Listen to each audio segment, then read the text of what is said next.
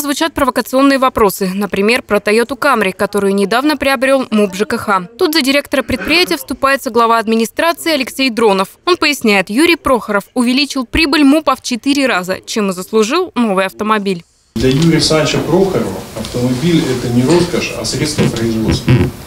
А почему бы не поддержать отечественного производителя? Потому что я не закончил. Поэтому я принял решение разрешить ему покупку этого средства производства Дальше обсуждение переходит к дорожному вопросу. На ремонт и содержание дорог в прошлом году власти потратили почти 165 миллионов рублей. Но покрытие некоторых, мягко говоря, не очень хорошо пережило зиму. Алексей Дронов уверяет, подрядчик дал гарантии на три года. Он и будет устранять недостатки. При этом глава администрации напоминает, если бы все налоги платили вовремя, то в городе было бы больше ремонтов.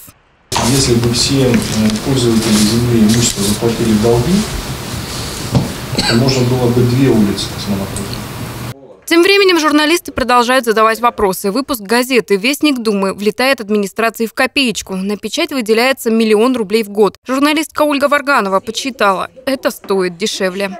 170-200 – это потолок. Ну, то есть, ну, там 190-200 – это потолок вместе с бумагой, да? Получается, куда ушли 775 тысяч?